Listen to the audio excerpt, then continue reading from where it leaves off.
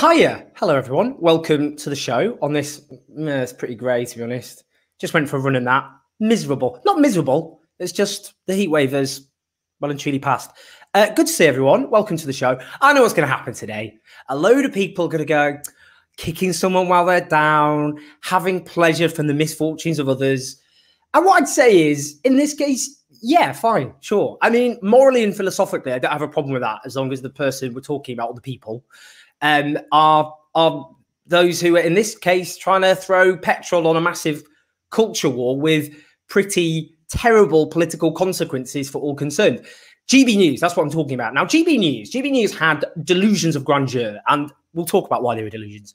They came into the boxing match pumped up, you know, high on the millions of pounds that had been poured into them by investors. They were going to crush the woke left, slam them into oblivion. They were going to take on the BBC, whatever problems I have with the BBC, which we've covered in terms of their uh, political coverage. They thought they were going to take it on. They were going to smash the BBC. They were going to smash Sky News.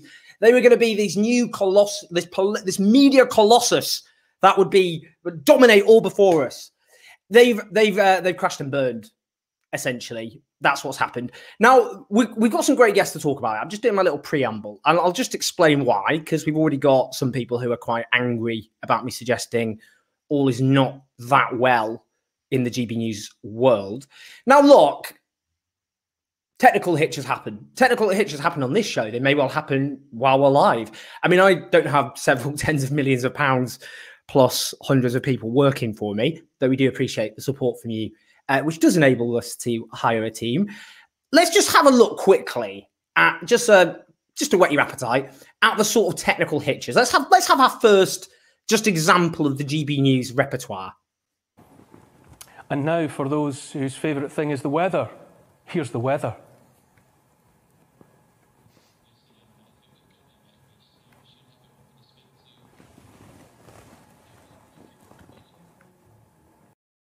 Just say something. Fill the fill the dead air.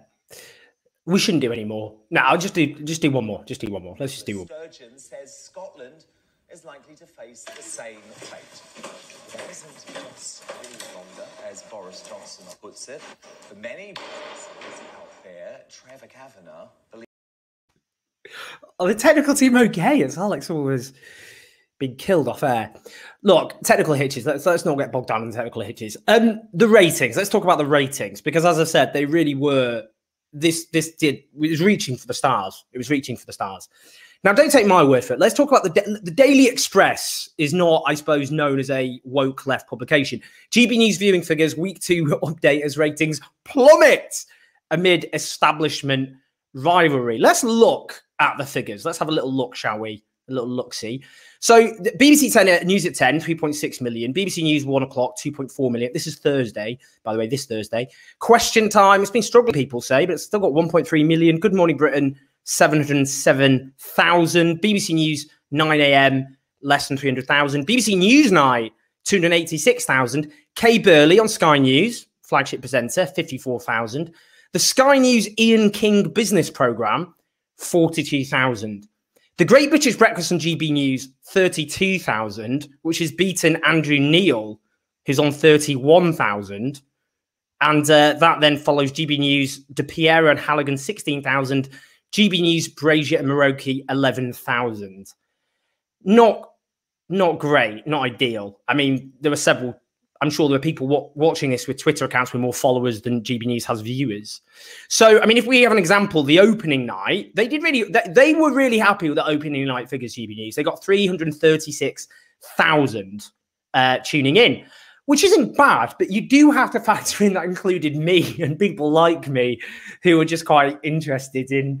In, in, in watching this new phenomenon, uh, not necessarily with the best interests of the channel at heart, if I'm going to be brutally honest. Um, 333, uh, 336,000. Now, they were very happy with that. The problem with that, I suppose, is that's as good as it was going to get, and that is as good as it got. I mean, as an example, Brazier Maroki have gone from 36,000 down to 11,000. Uh, the GB News Breakfast Show on the 18th, that's not even that long ago, that's nine days ago. They were on 56,000. They've lost 22,000 viewers since. Now, Andrew Neil, I mean, come on, he's the flagship presenter He founded it, and uh, he's taken himself off air after two weeks to take a holiday. Apparently, of course, who doesn't set up an entirely new national television show, then abruptly take a holiday two weeks later? It's not. It just hasn't gone well. I mean, let's just be brutally honest. I mean, some would say, "Well, you're giving it the oxygen." I mean, whatever, fine. I mean, if I've if I've given it inadvertently a few hundred extra followers, I'm willing to I'm willing to pay that price. The the trend is down. I mean, that's the thing, because the other argument would be, I suppose, start with a small base, then go up.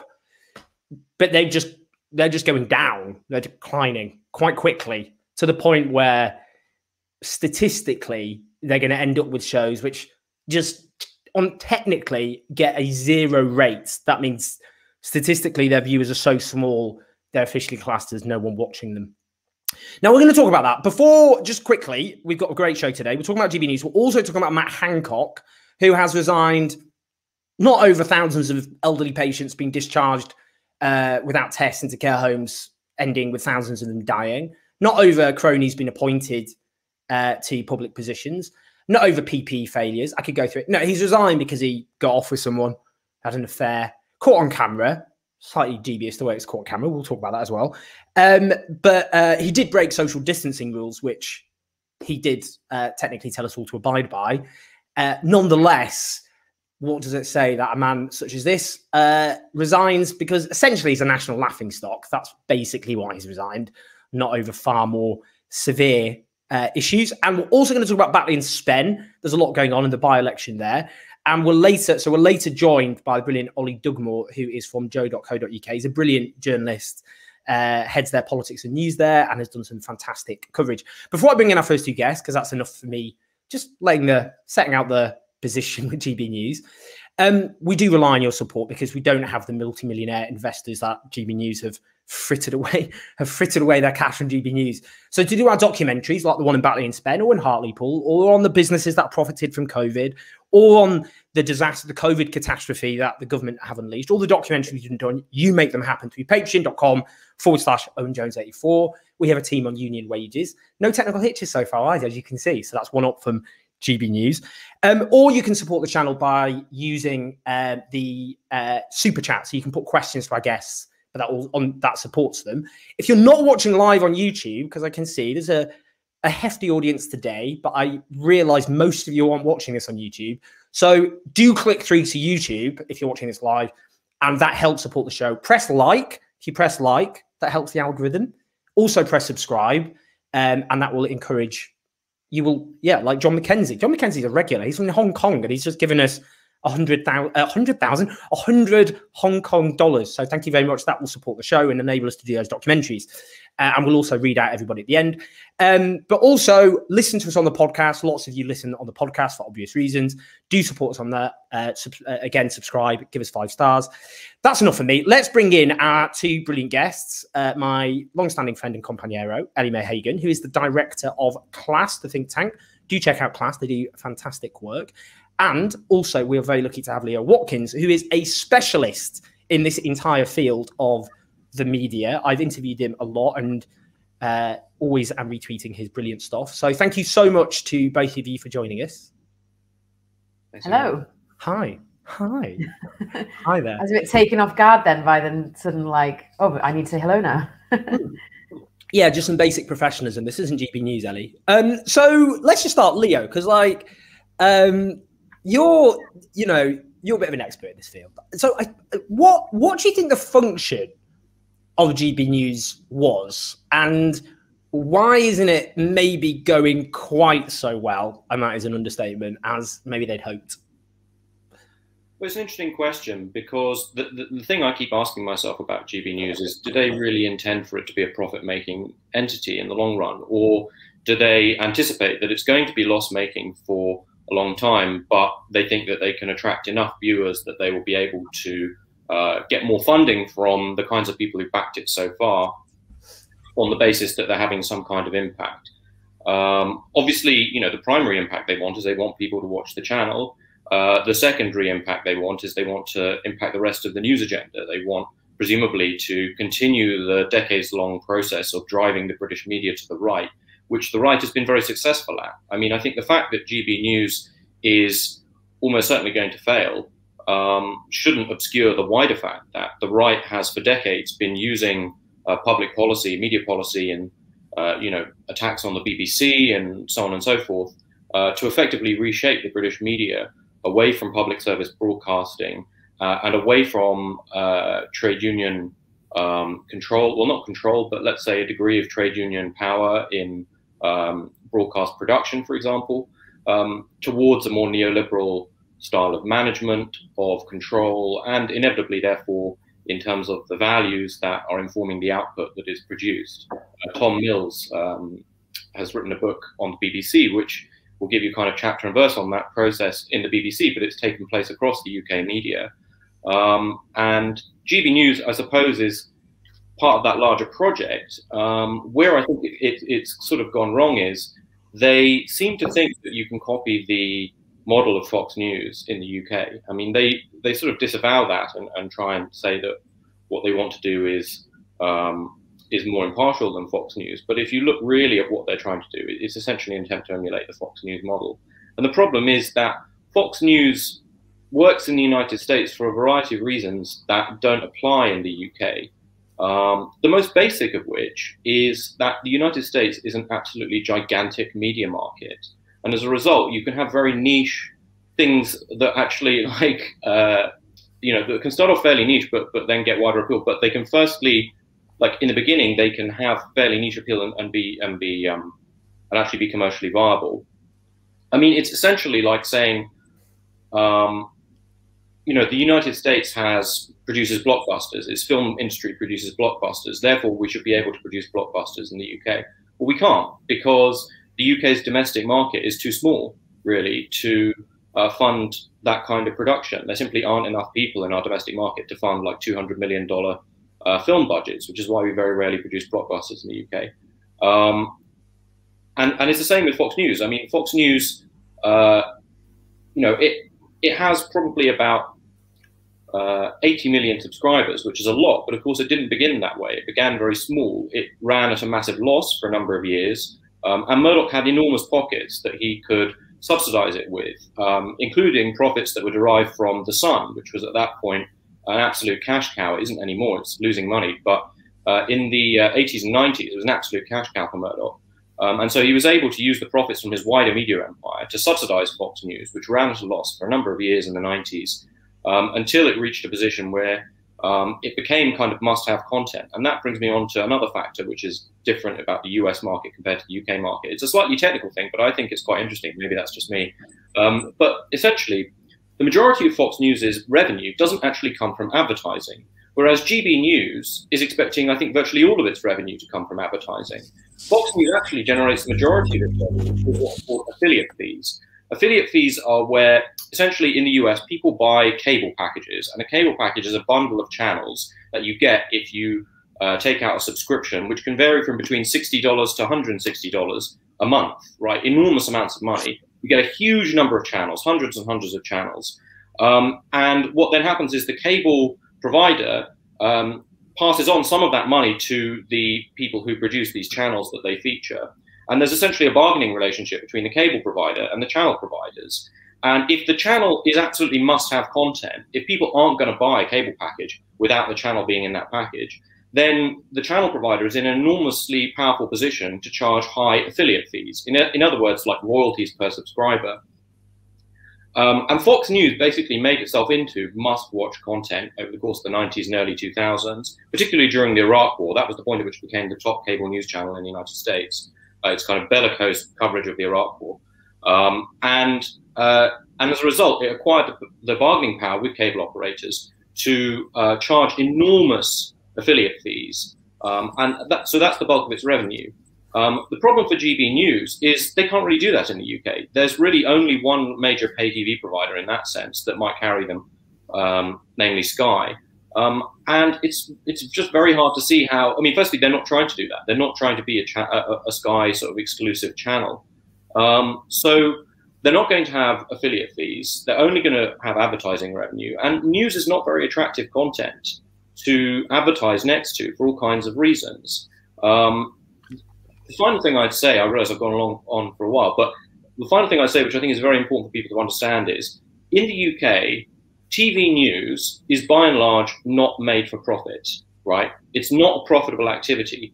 Everyone who does it does it either, in some sense, because they're required to. The only exception really is Sky. In the case of the BBC and Channel 4, it's in their remits as public broadcasters that they must produce news. In the case of ITV and Channel 5, they have quotas that they're required to fill in order uh, to get their Channel 3 and Channel 5 licenses uh, from Ofcom uh, for uh, a certain amount of peak ne uh, news programming.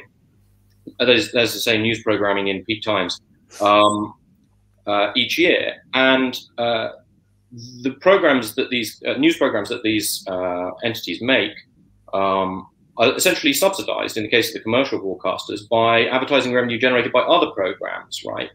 Um, so uh, for virtually everyone, it's it's it's in fact for everyone, it's loss making. Sky News um, is not something that Sky is required to produce, but which Sky has deemed in its interest to produce for reasons of basically marketing and kind of broader brand benefits. But again, it subsidizes Sky News to the tune of millions of pounds a year. It's not profit making, um, and you know so that has to be borne in mind. You know the BBC and BBC News Channel and Sky News Channel um, both have substantially more viewers than GB News, and they're both loss making. I mean, obviously, the BBC doesn't carry advertising, um, but Sky News is the relevant comparison, and Sky News has always been loss making. There's absolutely no evidence in the history of UK broadcasting to suggest that you can make a news channel that is profitable, which is one reason why nobody has done it by now. Um, and the only people who are doing it are a bunch of right wing ideologues who apparently seem to know nothing about broadcast economics. I mean, on that, Ellie, you've got, I think, a very interesting theory about why it's perhaps not been the success they desired, which is they don't really understand their audience. Yeah, well, I think first of all, I kind of, I guess I want to sound a note of caution, which is that I'm not sure that we can like call death on GB News just yet because you know, there might be there might be a moment where they suddenly catch the zeitgeist, you know, like it, like Fox News did with the Iraq War, or they sort of capture a particular audience, and there might be, you know, maybe they'll do a really high profile interview that will for some reason go viral, and then more people will will kind of pay attention, you know. So we don't know that yet, but I think. um yeah, I think one of the mistakes that they've made is that they focused quite a lot on anti-lockdown stuff but at the same time, it's clear that their target audience are like kind of Britain's angry boomers. But Britain's angry boomers, while they might be reactionary in, you know, as a as a demographic in in on many issues, when it comes to lockdown, they are most in support of lockdown of any other demographic in this country, and that's because they're pensioners, so they don't their impact on, on their income isn't there isn't one and you know they own their own homes many of them so there's no worry there about like a lot of boomers by now own their homes outright. So there's no worry there about you know what will happen to being able to pay the rent and the bills and that kind of thing. And of course they're the most vulnerable to the virus. So when you've got you know the sort of ex showbiz columnist of the sun trying his hand at epidemiology and saying that we should just end the lockdown, you know, not that there is even a lockdown now, you're actually appealing to a, a tiny proportion of the population and you're saying things that your audience that you're targeting doesn't agree with. So I think that's been a huge uh, mistake on their part. But I also think there's a sort of more general mundane reasons why it's not been this big explosion and that's that rolling news just doesn't get that many viewers anyway like you know in your figures there you show that the most popular person on sky news kate burley kay burley sorry who i really enjoy watching kay burley but she hmm, Same. she only yeah she only got 54000 viewers it's not that much but you know um, as Leo was saying, it doesn't really matter that much for Sky because I think I think Sky News for the Sky sort of empire, if you like, is um, is more of a kind of brand building exercise. So like Sky News is the free channel and it's kind of like your gateway drug into Sky in general. It sort of gives the brand a kind of prestige, and I think that's what it's there for, rather than for making money. Um, and then the other thing is, I think that GB News has really overestimated the uh, importance and the, the sort of value people place on punditry. Like, you know, people watch Sky because like they'll flick onto it because they quickly want to see what's happening in the world. And like BBC One at 10 is like a titan of news in this country. And people watch it not because they want to see people fighting with each other or like see some co- commentators saying what they think. It's because they actually want to know what's going on in the world. And I think most people are just quite happy to kind of get the news, hear a sort of summary shot of like, this is what happened today, and then kind of get on with their lives. I don't think that many people in this country really want to sit and listen to people sort of dissecting the news from quite a singular viewpoint for hours. And I think when you add the bad production values into that, I mean, honestly, sometimes it looks like a kind of hostage video that's being sent, you know, from like a kind of basement somewhere. You know, it just, it like genuinely makes it hard to watch. It's like uncomfortable to watch because it's sort of, you know, it makes you feel uncomfortable because it's a bit embarrassing. Um, and it's just like it's also just difficult to watch, you know, when when the presenters aren't quite sure what's going on, and you know, you kind of want like really good presenters like Kay Burley. You know, you don't have to like her or agree with her, but she's really good at guiding the viewer through the segment, making you feel like you can just sit back and let her take you through what she's doing. You know, she's really good at that. But when you've got presenters basically being like, "What's next? I don't know." It's sort of quite difficult for you to really follow it. And so I think, you know, all of these things together have contributed towards uh, people just kind of checking it out because they want to see what's going on and then just kind of switching off and going back to the BBC. Um, but yeah, like I say, I don't want to like say it's over just yet because you know you never know, do you? With these things, like I think we've seen the sudden revival or sort of sudden uh, popularity of certain kind of YouTube channels or YouTube figures or kind of TV programs where they've suddenly managed to capture the zeitgeist and then they attract a new audience. So mm-hmm. I do think that could happen, but I do I think there's like quite clear, obvious reasons why. I think the people who founded GB News have maybe overestimated the appetite for it, basically, and then the bad production values definitely makes it harder to watch. So. I mean, I think it's, by the way, uh, lots of people found the hostage video comment pretty amusing. Just um, yeah, I mean, I do think it's interesting that, I mean, this is almost this kind of delusional self presentation that has kind of defined a lot of Brit political discourse over the last few years, which is basically this cosmopolitan, middle class, privileged elite, which is speaking down to uh, working class people whose values are being trashed. Because actually, if you look at the audience of GB News, um, and social classification, the way pollsters use it is quite problematic. For those who don't know, they use ABC1, that's supposed to be middle class, and C2DE, which is supposed to be working class. But I mean, it's problematic for lots of ways, but we'll just go with it because that's what pollsters do. But over 80% of GB News' audience are ABC1, which does suggest a very high uh, preponderance of pretty well off. They're older, they're overwhelmingly older, affluent viewers who quite like the idea that they are the downtrodden masses against the establishment.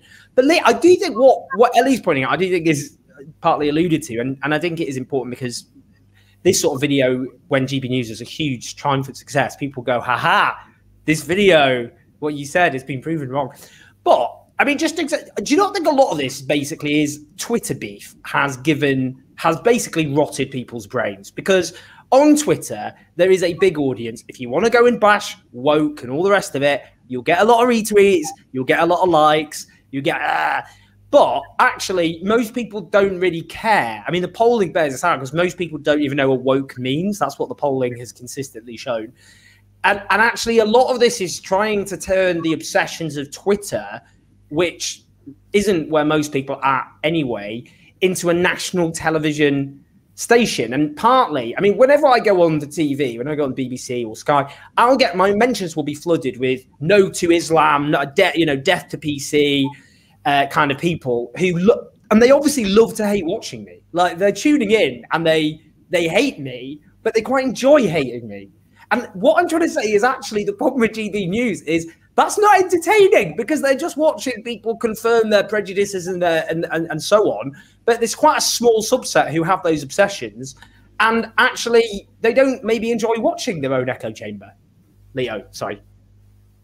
Um, I see what you're saying. I mean, there are two things I would say. The first is, I think one has to come back to the example of Fox News. I think Fox News is what's rotted their brain because they looked at Fox News and thought we can do that in the UK, and it's part of a wider pathology on the um, on the British right, which is to believe that basically America is better than the UK in virtually every respect, and that what we need to do is emulate America across the board, or become closer to America diplomatically, politically, economically, whatever.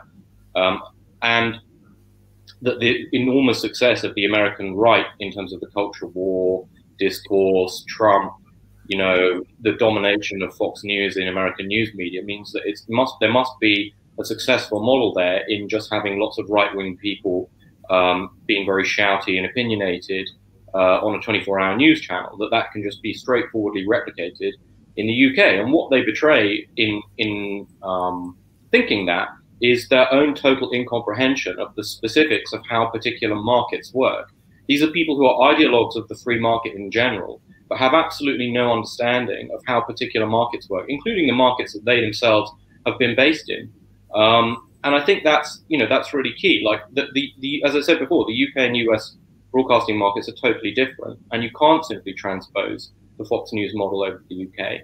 But I think the second thing I would say, I mean, also incidentally on Fox News, Fox News is actually quite well made at a technical level, right? Um, it's very entertaining to watch.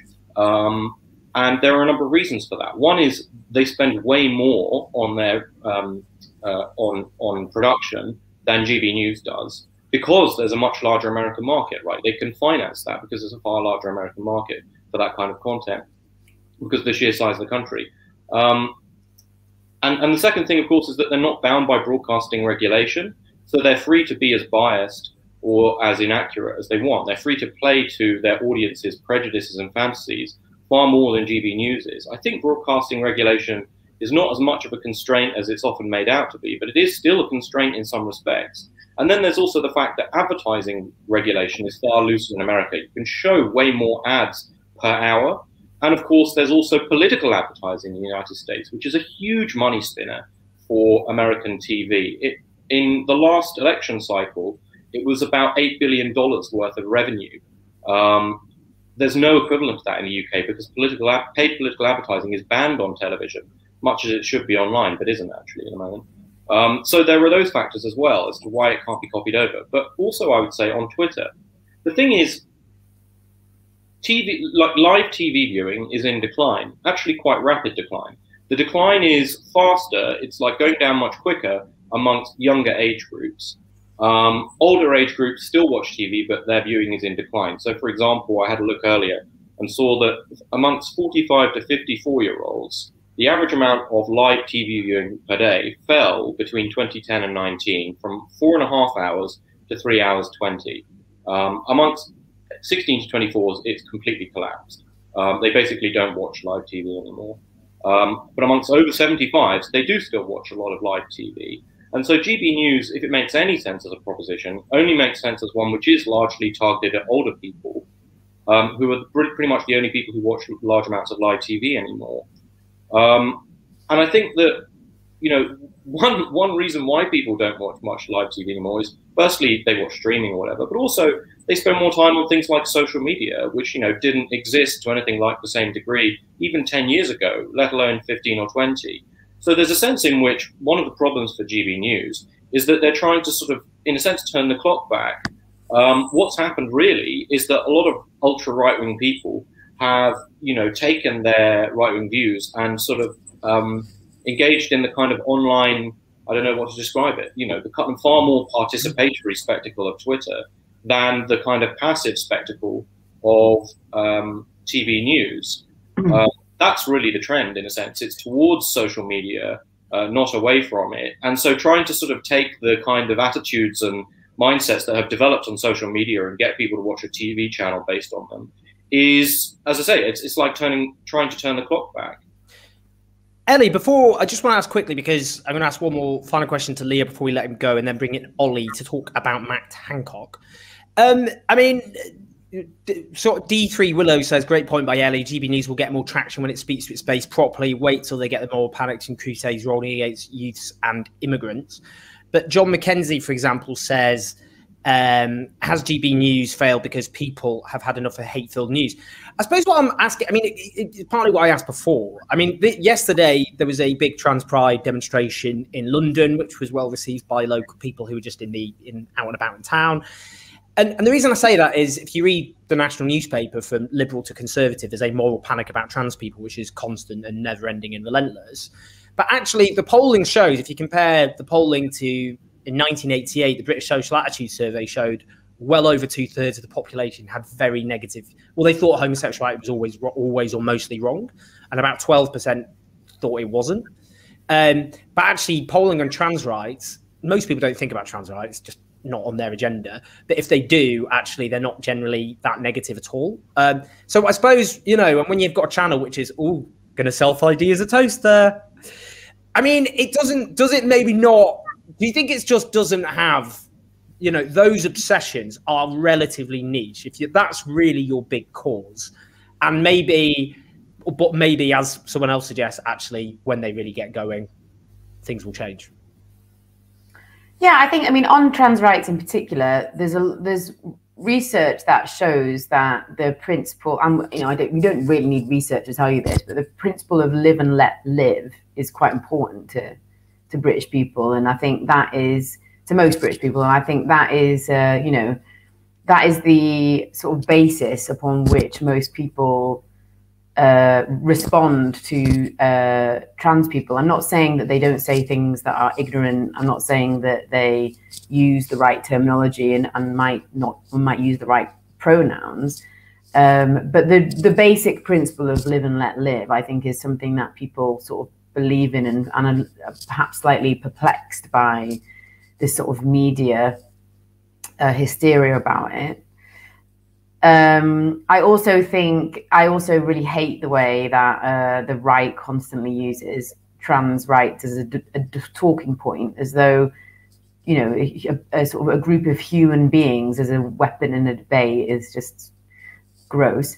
Um, but I actually think what you said earlier about Twitter melting people's brains, I mean, I, I think this very strongly anyway uh, about Twitter. I think, particularly on the left, I think it we it was not a good idea for us to have that as our platform of choice, particularly when we uh, keep using our inside voices outside on it, um, and and sort of perpetually beefing with one another. I think has not been great. But I do think that. Um, in some ways, this is sort of a Twitter transformed into uh, a news station, and perhaps uh, GB News have overestimated uh, the extent of interest out there um, based on quite coordinated uh, sort of moments on Twitter of people who have particularly politi- like particular political opinions has perhaps made them think there's a bigger appetite out there for sort of viewpoints and arguments that maybe there isn't. Hmm. I mean, I, for me, one interesting thing that happened in the last week was that bloke from uh, Mumford and Sons who resigned from his like amazing career as a rock star, where no doubt he was worshipped by thousands of fans, because essentially because he trended on Twitter in a negative way, and now he wants to tweet more. I mean, that to me was somebody who really has got what I believe is known as poster's brain and just needs to step away from the computer. And I think maybe this is the sort of news version of that, that actually, like I said earlier, there's no news on GB News. It's just punditry. Hmm. People are not that into punditry. Um, they they watch news because they want to know what's going on in the world primarily, and occasionally they want someone to explain complex stuff to them so that they don't have to spend ages thinking about it.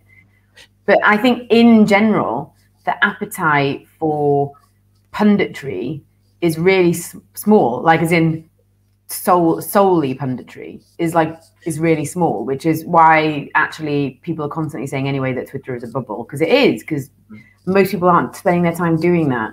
So I think always the the sort of the reach that this was going to have was always going to be it was going to be quite specialist, and I think um, yeah, I think that's what we're seeing. I but yeah, no, as I said before, they could like turn it around. They could change up a little bit and um and like you know do better camera work, whatever, and they might they might kind of get better. But yeah, as Leo was saying, I mean, like Fox News is entertaining. Like the the presenters all know exactly what they're doing. They're sleek. They're charismatic. Um, and it has actual news. That's the big difference. There's actual news on Fox News. There's no news on GB News, you know, apart from the ticker at the bottom.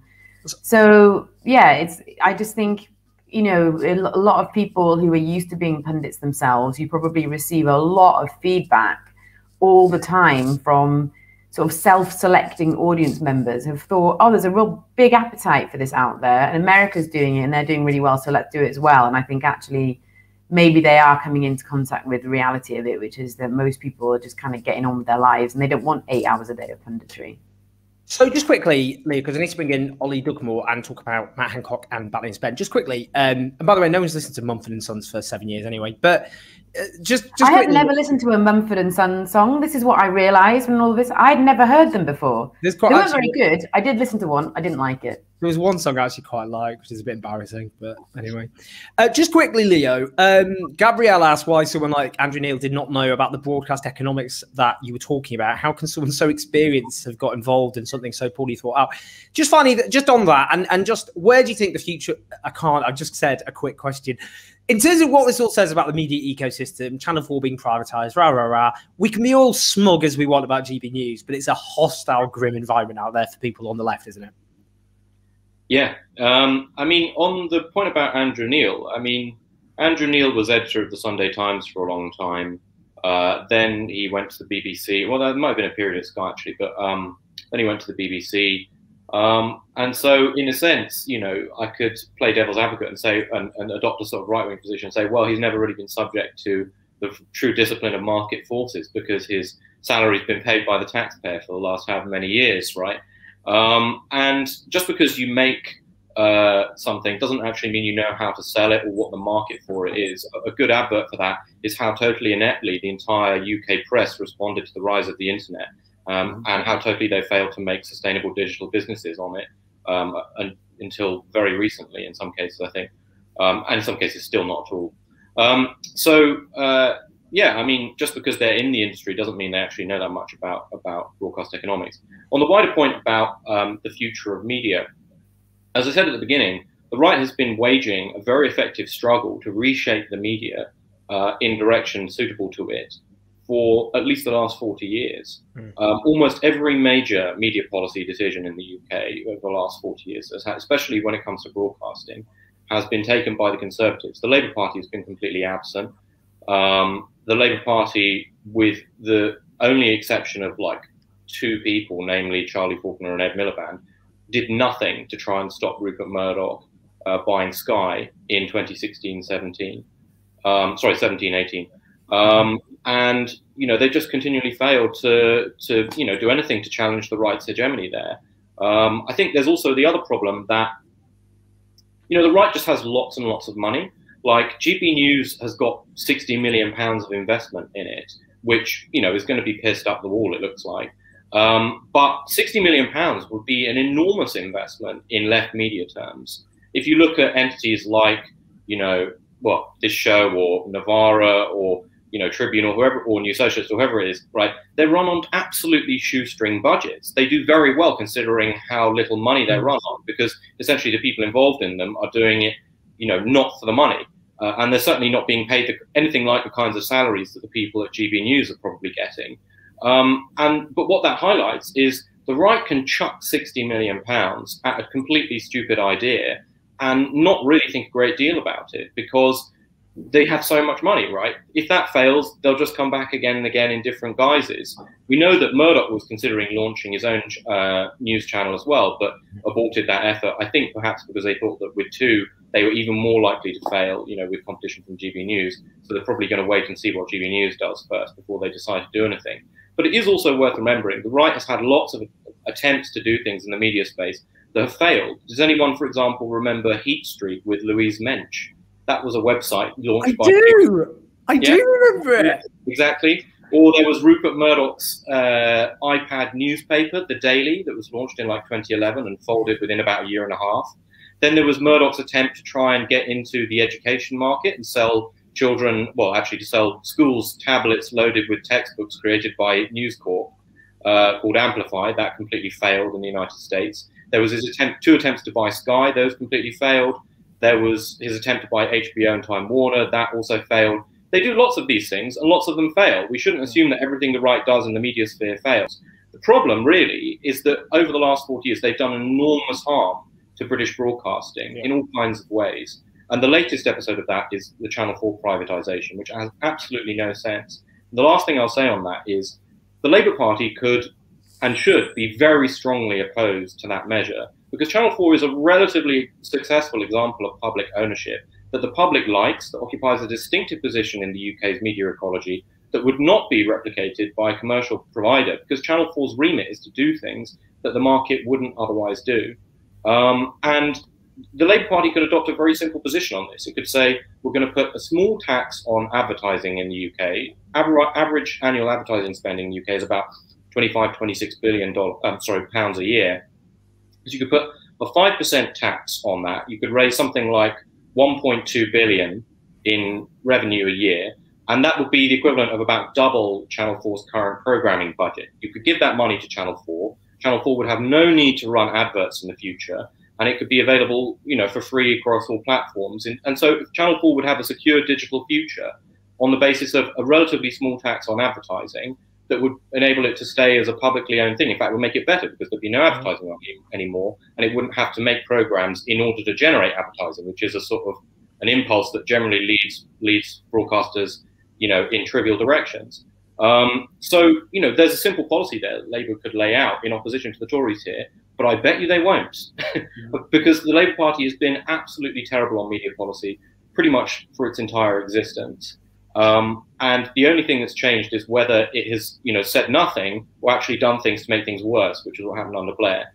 But um, you know, th- that's that's the situation. We have to change that, and we also need the wider left to appreciate the importance of funding media, which is clearly something the right understands, even if often what they do is is bet on complete turkeys like GB News.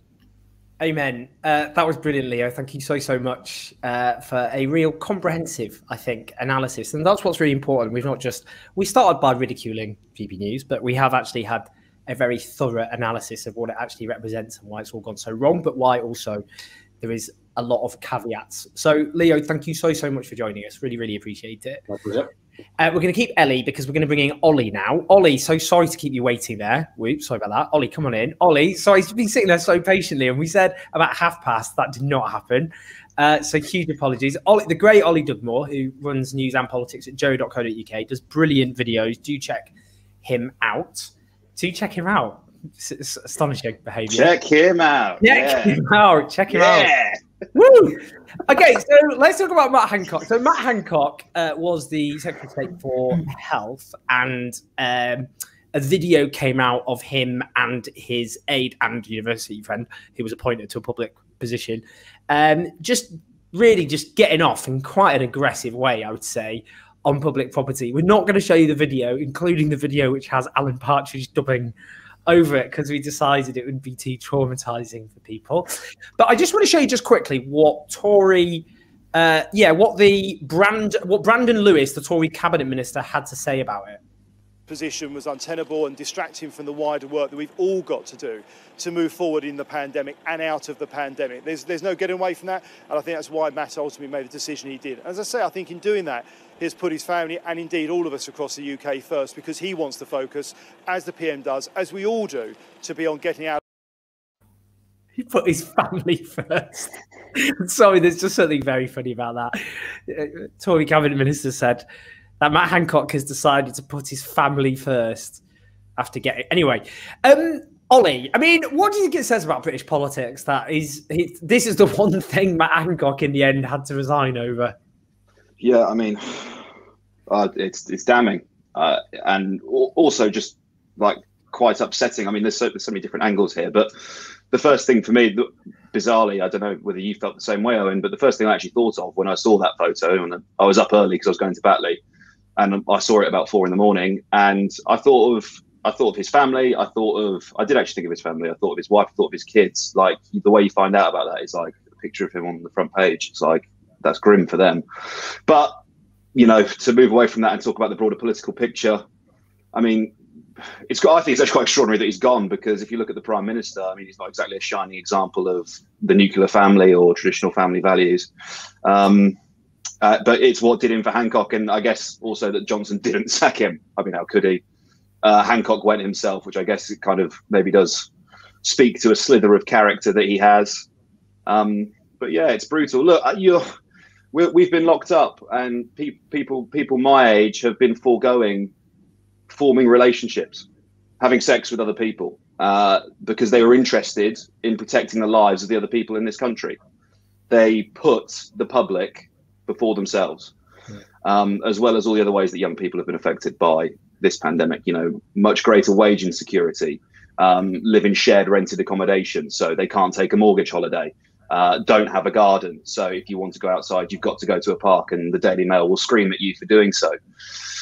And even outside of that, let's let's make it not about sex. Let's make it about the people who weren't able to attend the funerals of their loved ones, couldn't hug their gran.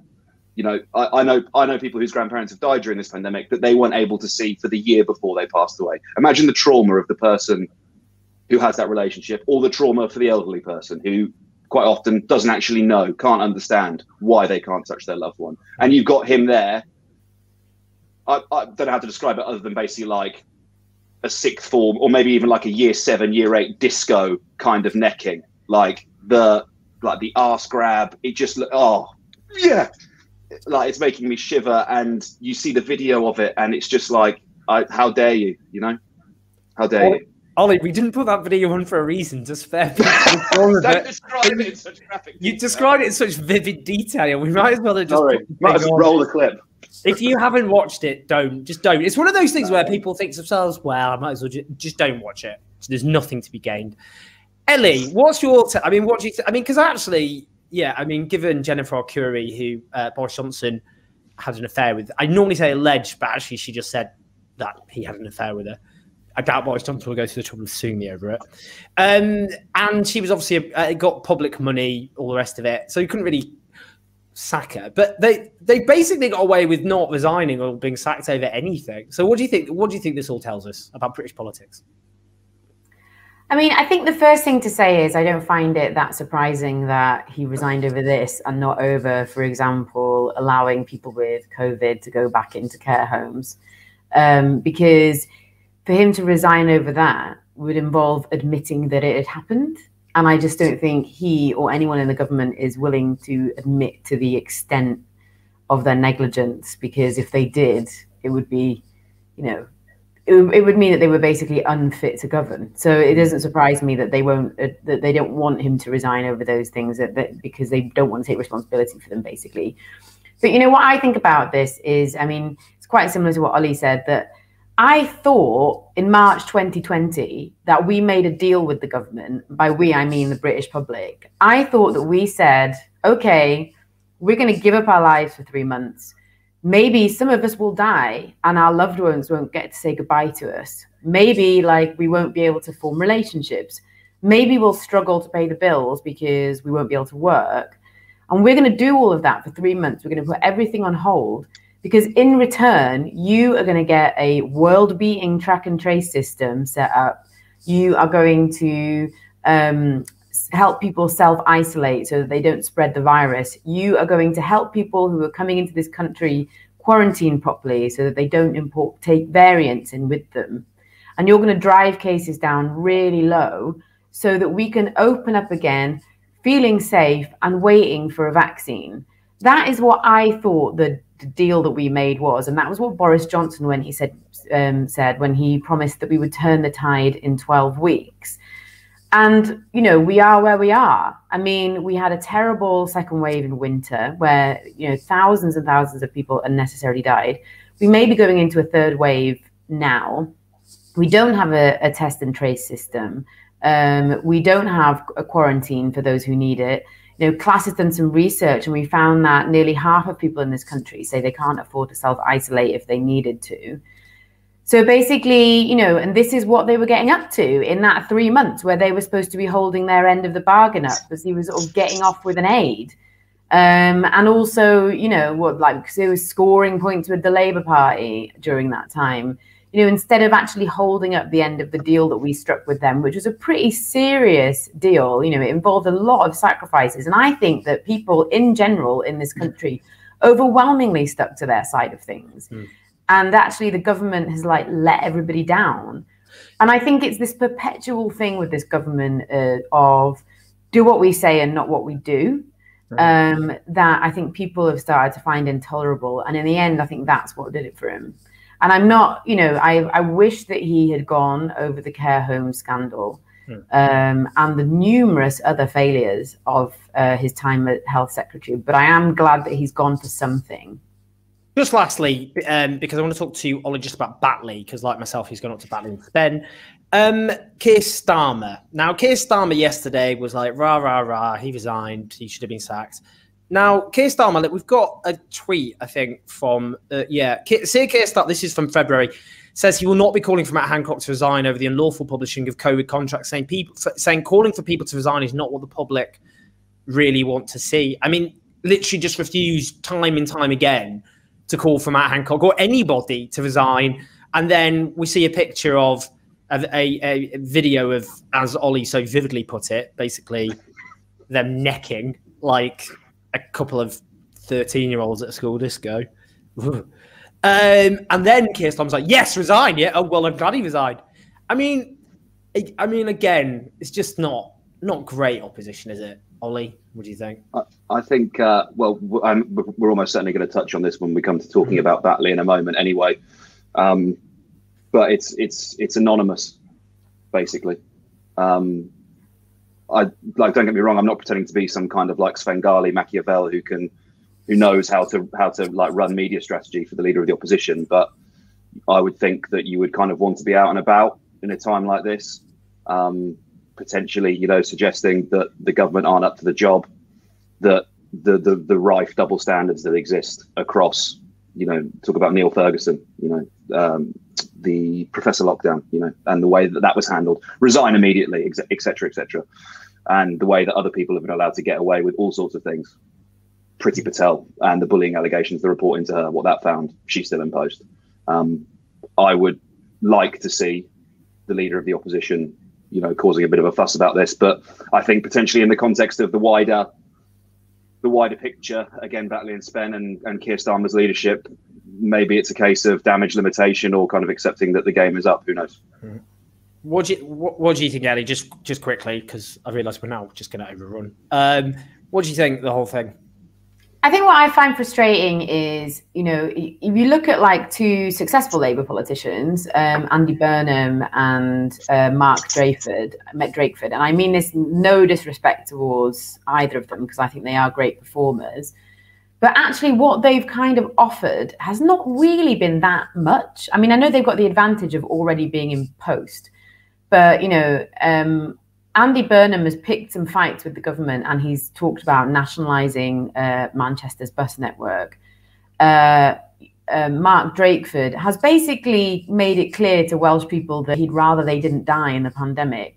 You know, and Wales is doing some other interesting things, like it's trialing a universal basic income and that kind of thing but it's not exactly like you know Nye Bevan levels. It's not uh, bringing about socialist a socialist settlement in the places that they govern.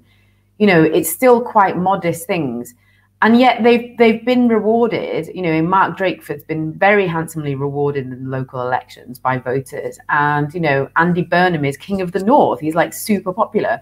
So I feel like in in some ways I, I know that the leader of the opposition is a terrible job. I know that, you know, we saw it in the last four years. I can see it with Keir Starmer now. It's it's it's a hard job. But I also think, you know, you don't do you have to do that much? You know, I mean, it, it feels like even the bare minimum is not being done by Labour. Um, and that's just incredibly frustrating because I think there are just so many open goals uh, that they are not even, you know, tapping it in. And it's just, that's really frustrating to see. And I think you know you're going to talk about this in a bit, but I think like someone like Kim Kim Ledbetter, who is or Leadbeater, I'm sorry, I don't know how to say her surname. Leadbeater. Who, Leadbeater, who is actually a really good candidate. You know, I mean, you like you you could have argued that there was something a little bit perhaps um, symbolic, just symbolic only about her t- taking over her sister's seat. But I think she's defied that and like really worked hard for that seat. And I think it's unfortunate that you know she's doing this with a party that hasn't really given any uh, persuasive reasons for you to vote for it. And I think if she doesn't win, that will be a huge shame for her and for Batley and Spen. And I think it's because the, the, opposition just isn't able to pick fights and isn't able to kind of set its stall out. And that's that's really frustrating. And I think uh, politicians like Mark Drakeford and Andy Burnham show that actually it is possible to do that and be successful. Ellie, you are an absolute legend. Thank you so much for joining us. I will see you soon. I'll get you a drink or something. Say thanks. Lots of love. Have a good day. I'll see, I'll see, I'll see you in a bit. Lots of love. That was great, Ellie, as ever, as per. um, Oli, let's talk about Batley and Spen. Um, I'm sorry we're hmm. overrunning, taking your valuable time. Um, um, so we've both been to, we've both been up um, to Batley and Spen because there is a by-election coming up this Thursday, unless people are listening to this after the event. Uh, it's happening this Thursday. It is a seat which Labour has held for a long time. Uh, in 2019, Labour kept it with a three and a half thousand majority or so, despite a national electoral inferno. In 2017, actually, it was uh, over half the electorate voted for Labour in Batley and Spen, over 8,000 people. Um, Labour are panicking. They think they're going to lose the seat. And uh, they thought they were already worried about it already, but George Galloway threw his hat in the ring um, Batley and Spen has a large Muslim population. 86% of British Muslims voted for the Labour Party in 2019. There are over 3 million Muslims in Britain, and they are a core pillar of Labour's electoral coalition. Now, let's just talk about what happened because you were there this day. I wasn't there this day. And this is a confrontation. We've got a clip here from your clip, so don't like sue us or something. I don't know. Unlikely, I think. Just going to use, we're going to now use a clip. And this is a clip of Kim Leadbeater being uh, heckled by, and we'll explain who who she's been heckled by. But here's the clip. Members of parliament who have why, forced why LGBT indoctrination to children. Why what do you feel? How do you feel about Muslim parents who don't want their children to learn? Because I'm very angry. I'm very upset. I apologize for coming across some shouting. Why would you shout at me in the street? Muslim parents who don't Muslim parents who don't Muslim parents who don't want their children to learn about sensitive sexual relationships. Are you going to stand for those Muslim parents? Do you know what I'm not going to stand? You shouting at me. An innocent woman who has put herself forward for life. No one's going to interrupt you know, this is where I live. This is my community. Don't come here and shout at me in the street. The Muslim community of Batley and Spen deserve, deserve better than much this. better. They deserve better than well, this. We're, we're the community. I'm asking you, are you going to support Muslim parents? I uh, I thought Kim dealt with that really well. By the way, I actually know. So I we both know. I know who that guy is. Uh, I've interviewed him myself. He's a guy called Shakeel Afsar, who is from Birmingham. He's not from Batley, and he led the anti-LGBTQ uh, protest. Sorry, against LGBTQ inclusive education in schools. Just quickly, here's a clip of me interviewing him two years ago.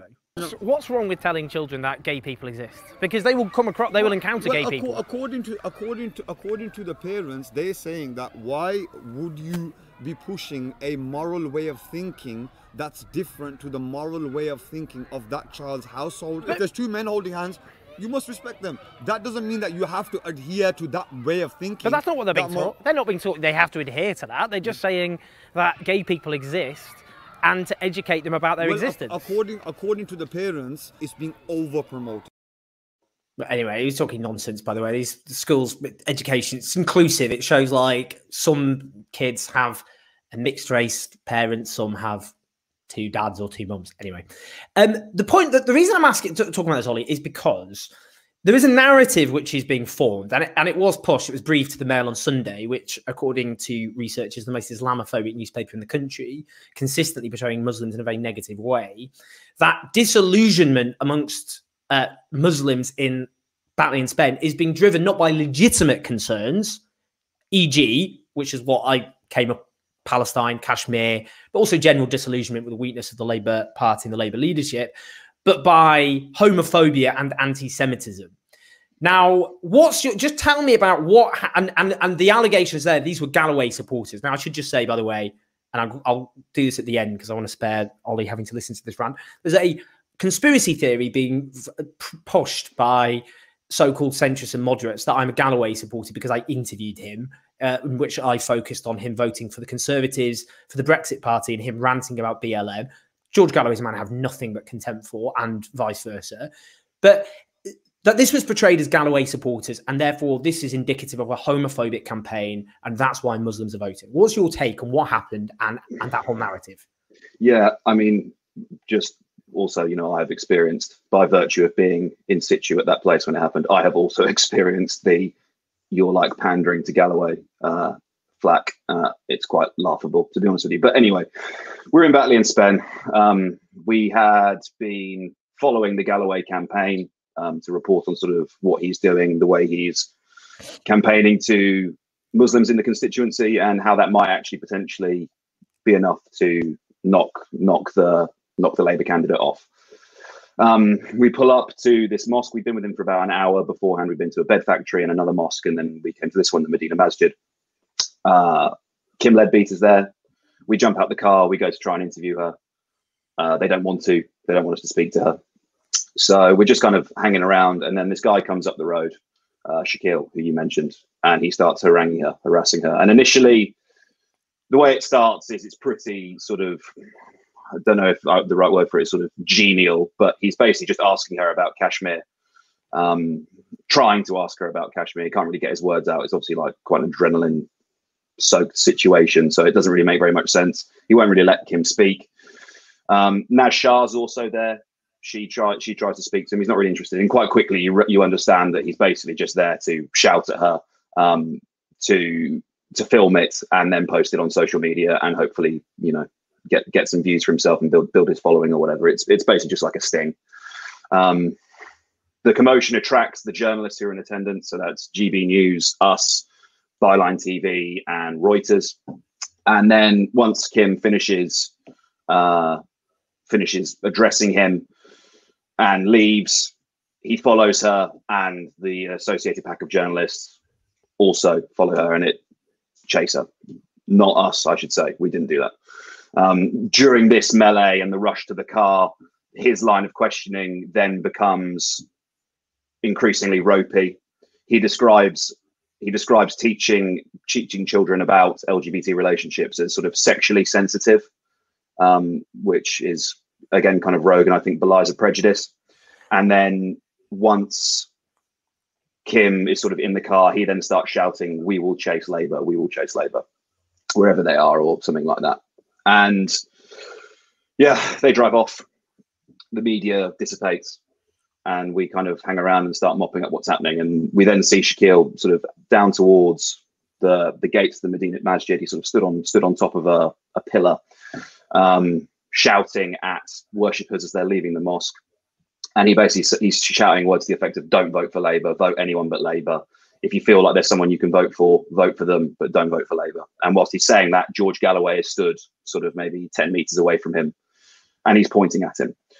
So I think there's an ambiguity about whether Shakeel is, an, is a Galloway supporter or not. I don't think that's immediately obvious. Um, and then there's also kind of the ugliness of sort of electoral politics in this form because the reason Galloway stood at the gate of the mosque and Naz Shah is also there, as are some several other Labour campaigners. The worshippers are coming out, and it's it's it's. I found it quite grim to be honest. I know it's been happening for a long time. It's the way politics is done, in, often in places like this, all kinds of demographics. But it's basically like people leave, people are leaving the mosque, and it's just sticker, leaflet, sticker, leaflet, and it's almost like a production line. Um, it's quite grim, in in in my view. Um, so yeah, that was kind of the sequence of events, um, and then we left um, interviewed Galloway, asked him about it. Um, yeah, and that's kind of that's kind of the the nuts and bolts of of what happened. Now, this whole narrative, what do you think of it? This, which is being promoted, that the reasons for Muslim disillusionment with the Labour Party is driven by homophobia because of the, the sexuality of the Labour candidate and by anti Semitism, which is the position being pushed by the Mail on Sunday in particular. I'm not going to name the journalist because he's just annoying. Um, but also by uh, by a Labour source, which then the Labour leadership had to actually condemn on social media and disassociate themselves with. Uh, well, it's not what I found whilst I was there. I mean, uh, you know, I'm not going to I'm not going to be as vain as to suggest that because I didn't see it, it it's not real. But from the people I spoke to in Batley and Spen, things there's there's two streams. There's local concern, which is potholes, literally, uh, mm-hmm. and transport were two big things that came up. There's also a police station that's closed down. Um, the nearest police station is about eight miles away, I believe. So you know, if there's a if there's a nine nine nine call, there is a there is a wait for for the police to arrive. Uh, and then with the Muslim community and the people I spoke to, it's Palestine and Kashmir. Now, the Labour Party actually has or had positions on both of those things. I've been at Labour Party conference when the resolution on Kashmir was passed, and also when um, you, will remember it, Owen. I'm sure you were there with the Palestine flags in mm-hmm. the um, across the conference hall floor. Now, I believe there's a degree of disappointment with the way things have changed, um, or at least there's been less vocal support or, or even discussion of those issues in the last year.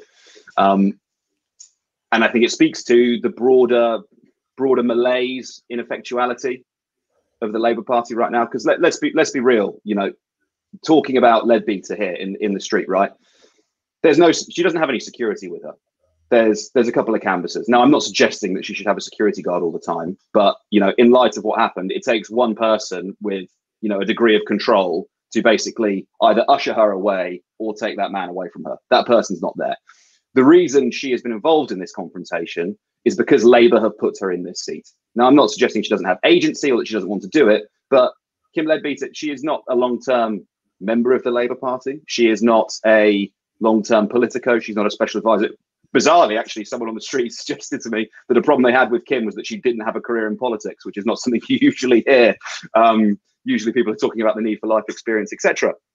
Um, so, Labour have put her in this position, and if something like this happens, I think there's a degree of responsibility that they have to bear. And just because the media captured it this time doesn't mean it hasn't happened before or she hasn't been harassed before in the street. And then again, I guess the follow up is that they're trying to they're then trying to spin spin what happened and use it for political gain, which I find again quite ugly and upsetting. And you know, I, I realize in all the course of this that by by reporting on this in this way and kind of exposing that there isn't really, as far as I could see, a, a narrative like that or um, that it was as clear that you know Galloway is a terrible guy, which I think there's plenty of evidence to, to suggest that if you look at his politics, you can Google him. That you know he's paid this agitator to attack Kim. No evidence for that whatsoever.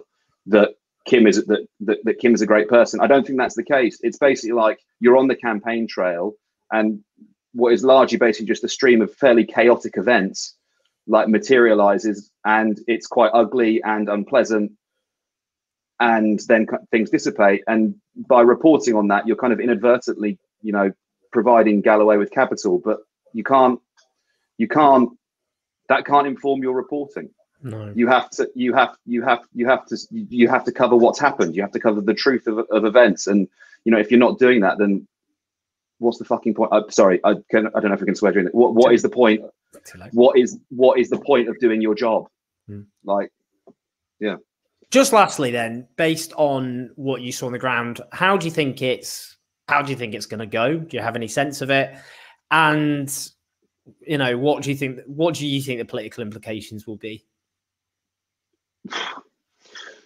Generally speaking, political predictions are are full mugs. Owen, you know this as well as I do. Yep. Um, I will. There is a set of circumstances in which George Galloway could win that seat. Like that does exist. If turnout is low, and he's able to get out, let's say, between ten and fifteen thousand votes, uh, there is real potential for him to win.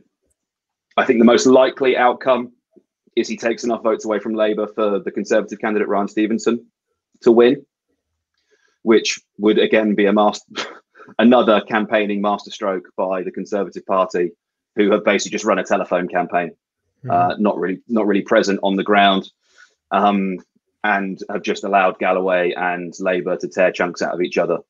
Um, it's almost as if they're quite good at running and winning elections. Mm-hmm. Um, if that is the case, I don't you know, like it would. Okay, historical precedent, unheard of, no, no, hasn't happened post Second World War for two by-election seats to be turned over from the opposition opposition to the government. Last time in a single term, single parliamentary term. I think the last time is like 1929 or something like that. Mm-hmm. So you know, significant. However, politics like this is not politics as usual. Like it hasn't been pretty much since the referendum, right? There is a really significant realignment going on. If you can't see that from Chesham and Amersham, where the Lib Dems overturned a 16,000 seat majority with a 25% swing in what is previously considered like Tory heartland, and then Hartlepool, never been conservative in its history, potentially Batley and Spen. There is a realignment. There is no longer as strong a degree of partisanship from from voters. People are now prepared to vote for different parties, and the realignment is roughly along. It's uh, it's, it's less evident that it's along sort of the traditional lines of of of Labour, and I don't mean that in the sense of the party. I mean in sort of um, profession, working working blocks, class blocks, and that the realignment seems now to be more based around things like culture, values, and identity. Um, that certainly seems to be the case from 2019. Does Keir Starmer go? I, that's it, implicit, implicitly the question you were asking me. Uh, I don't know, to be quite frank. I don't know. Like, for example, it touches again on the on the on the stuff we were talking about with the Conservative Party. Priti Patel hasn't gone. Hancock did eventually resign. Would Starmer resign? I'm not sure. It's only been a year in a pandemic, and like he always says, there's a mountain to climb. Um, so yeah, the one thing I would say, very very finally, I know you've overrun. You've probably got things you want to do today. The Conservative Party, the Conservative Party is very very good at killing off its leaders when they sense that things are going poorly for them, that they're not going to be able to win an election. Labour is not, and it's entirely possible that Starmer would just will continue. I mean, because the first immediate question would be who replaces him. Hmm. Oli, you've been an absolute champ. Thank you for, as I've said, we we have overrun, but that's entirely my fault. So thank you so so much for, as I've said, your your, your brilliant insights, not least on the ground of Batley and Spen. It's always always good to have journalists who, when pontificating about something, have actually actually gone and actually been on the ground and can speak on the basis of knowledge and experience. Um, but your your journalism is always fantastic. Do follow Oli on Twitter. It's at Oli Dugmore, D U G M O R E. Do give him a follow. Um, he's a great guy and always insightful. Really appreciate Oli, and I owe you a pint. I was going to ask if you were going to buy me a pint like you offered to Ellie, so thanks for that. Yeah, you, you'll get the pint, mate. Yeah, we're hanging out. Nothing out. if not fair. Nothing Yeah, if not fair. That's socialism, sure. um, lots of love, mate. Have a good one, and I'll speak. I'll see you soon. Cheers, bro. See, um, I am just going to do a quick rant about the whole Batley and Spen thing quickly, by the way, because, and I know some people who I'm friends with are a bit like, just let this slide. These people are idiots. They don't represent anything. But actually, and basically, and I I think this is interesting because we hear we've heard a lot over the last few years about uh, misinformation being spread online, so-called fake news being spread uh, online, digitally, and elsewhere. And I think there's actually a, it's an important point to talk about. The people who often talk about it style themselves as moderates, as centrists, as liberals, and they will often claim that two extremes, whether it be left or right, uh, are responsible uh, because they just put left and right in the same box, and that's fine. That's political analysis, uh, and and they're for partisan ends are pushing misinformation. Now, this week, ever since I interviewed, I, I did a documentary in Batley and Spen in which I interviewed the Labour candidate, Kim Leadbeater, George Galloway, uh, Andy Burnham, as well as lots of people on the ground uh, with a range of opinions, including Jo Cox's former parliamentary researcher, um, a range of opinions to have an honest understanding of what was going on. I approached the Conservative parliamentary candidate. He declined. He's turned down all journalists' requests. I also actually approached the Lib Dems. They didn't get back to me either. That's up to them. But I did my job. And what I did in the case of George Galloway is interviewed him not least about his record in supporting the Conservative Party, which he voted for uh, after saying he preferred to gouge his eyes out.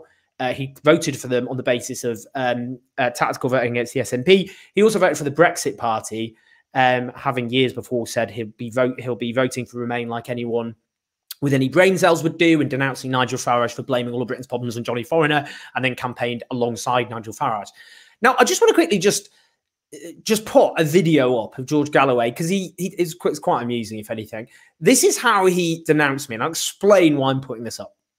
I had the dubious privilege of sitting down and having tea uh, with the loathsome Owen Jones of The Guardian this week.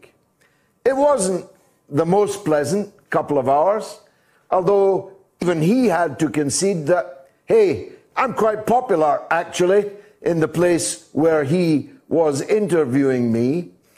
And I said to him, You are part of Labour's problem. In fact, quite a big part because you have led the way. You and people like you have led the way in the anathematization of the British working class because they don't think like you, talk like you, because they don't dress like you, because their social and cultural norms are not the same as you, you have blackguarded them.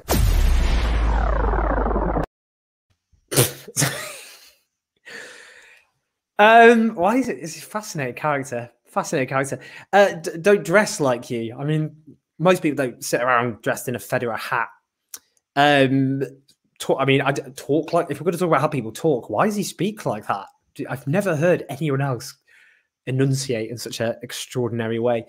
Uh, I'm well known, of course, for demonizing the working class. Uh, my first book, of course, being entitled "Chavs: The Demonization of the Working Class." The, the point about that was it's just i mean it is quite funny because he's such a ridiculous character in in so many ways um is online because what happened was after the interview at this cafe brilliant cafe by the way if you're in batley do go to it uh, and they gave me a chai oh it's the best chai i've ever had chef's kisses and an iced latte and they asked me to pose with the drinks after the interview which i did. Turned out galloway was in the background they put it on their social media feed, and that's not been used to show that I pose with George Galloway. I'm a supporter of George Galloway. I'm his biggest fan, apparently. I'm a massive fan of George Galloway, who I blocked on Twitter about six years ago, uh, who I regard as a charlatan, a demagogue with deeply reactionary views on a whole range of issues. Notably, recently, trans rights. He's a massive transphobe. So transphobic, you'd almost expect a newspaper to give him a column. But the point is, is this has been portrayed because I interviewed him. I did my job as a journalist. That somehow I'm in cahoots with George Galloway.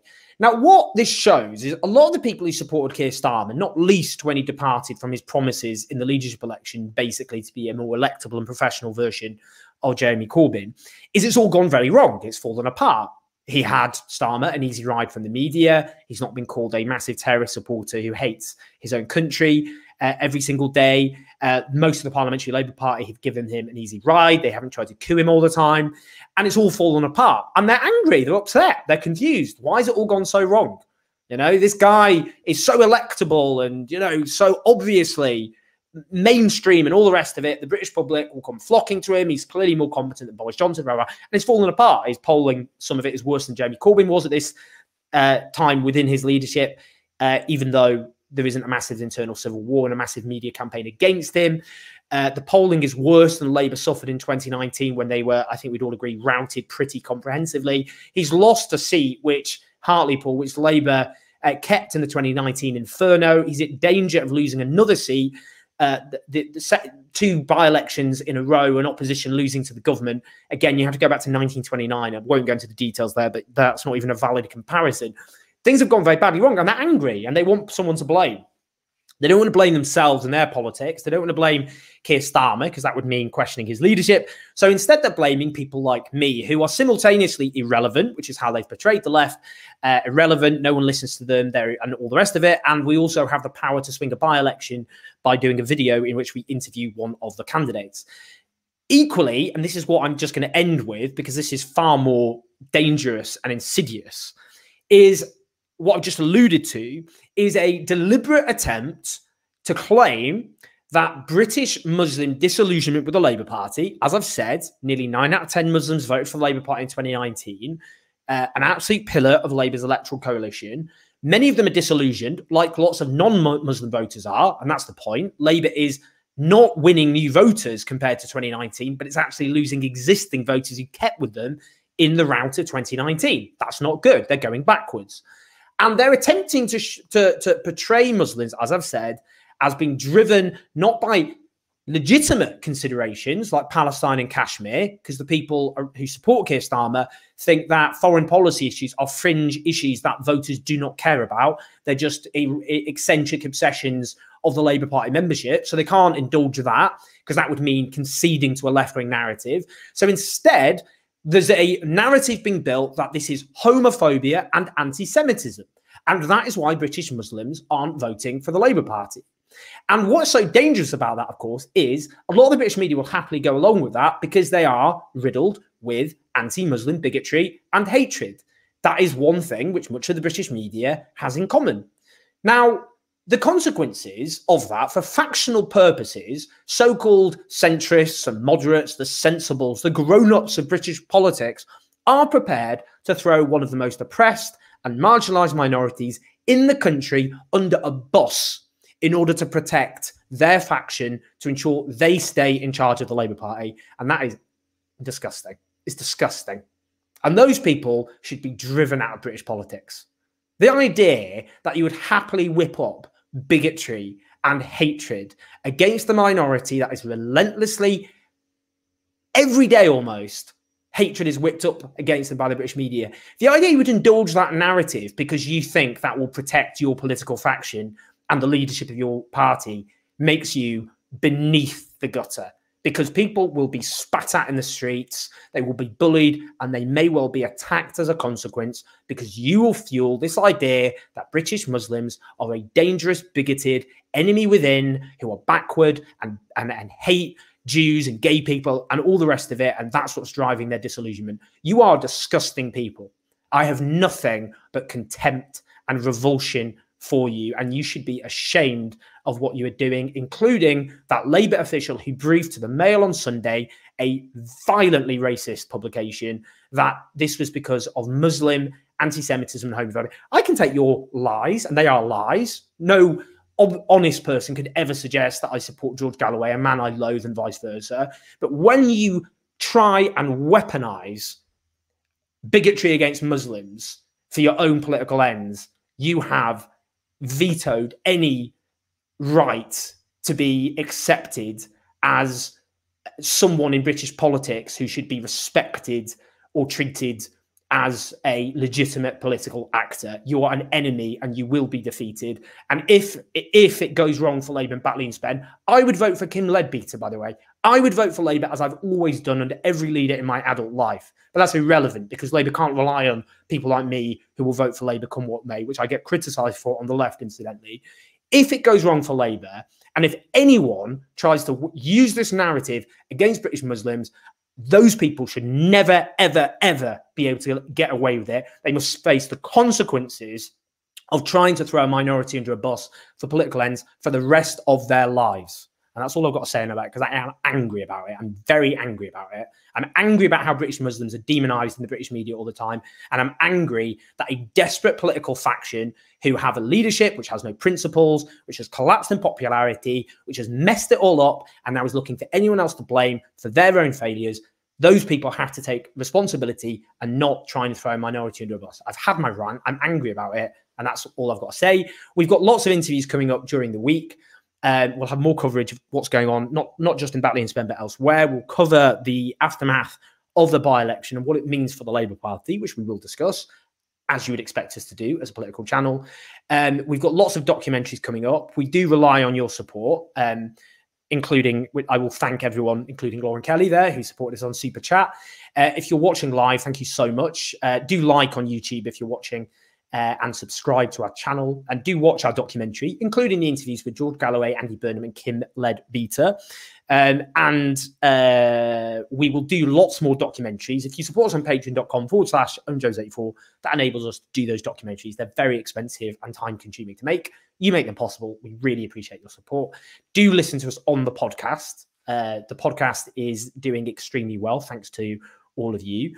Let me just thank everyone who supported us on Super Chat during the show. John McKenzie, who's a regular, big fan of you, John. Thank you so much for all your support. Uh, Buckley, uh, Sean 1912, Tamara Law, D3 Willow, John McKenzie again, uh, Gabrielle Matzu, uh, Gav Bailey, David Barata, who is a brilliant supporter of us on Patreon. We really do appreciate your support. Uh, David S. Uh, Lauren Kelly. Thank you so much, everyone. Do, uh, as I've said, check out all of our videos. We've got loads of interviews, documentaries. We'll have lots more to come, including uh, a right wing comedian, Geoff Norcott, who I've interviewed. We did promise we'd speak to people outside uh, of the. Oh, you'll probably now there'll be people saying I'm a big right winger because I interviewed Geoff Norcott. Like all the time, I've interviewed all those other. I'm support of the Brexit Party because I interviewed them. I should stop. I am should not be too bitter about this. It is annoying though. Um, cheers, everyone. Uh, we really do appreciate your support, as I've said, and have a great day, whatever you're doing. Lots of love. Speak to you soon.